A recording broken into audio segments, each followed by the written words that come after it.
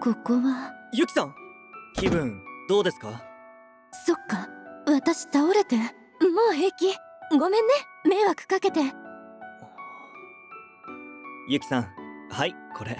これ？レモン味ポッチ！まだ食べてないって言ってたから。嘘。探してくれたの？すっごくの楽しみ。そろそろ帰りましょうか。送ります。え？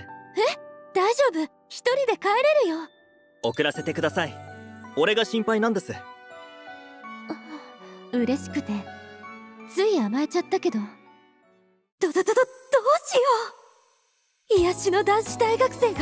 結構近いんですね。私の家に。えーといろいろ迷惑かけちゃったし時間あったらお茶でも飲んでいく？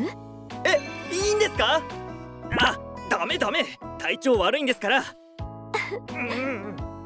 ちょうど昨日作ったお菓子があるんだけどな。うわ食べたいです！かわいい。待てよ。これって大学生を家に連れ込んだってことになるんじゃ。犯罪か？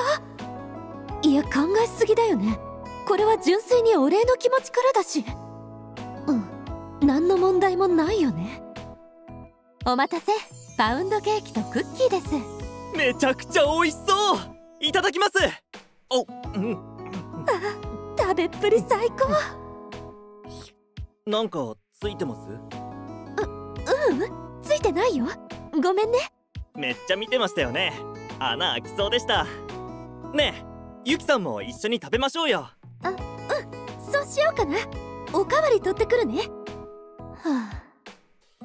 家に男の子と二人きりなんて久しぶりすぎてなんか緊張しちゃう。ごちそうさまでした。おそ松様です。仕事でお菓子作るときは上の指示とか予算とかいろんなものに縛られて作るからこういう風に自由に作れるとすごいストレス発散になるんだ。私ってば大学生の男の子相手に何話してるんだろう。こんなの困らせるだけなのに。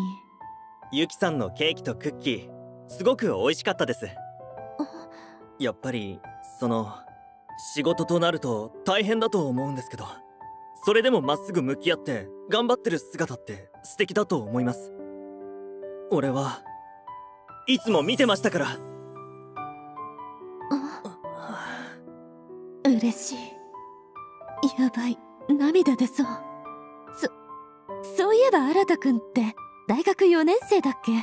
ええあはい。いいな若くって。学校楽しい？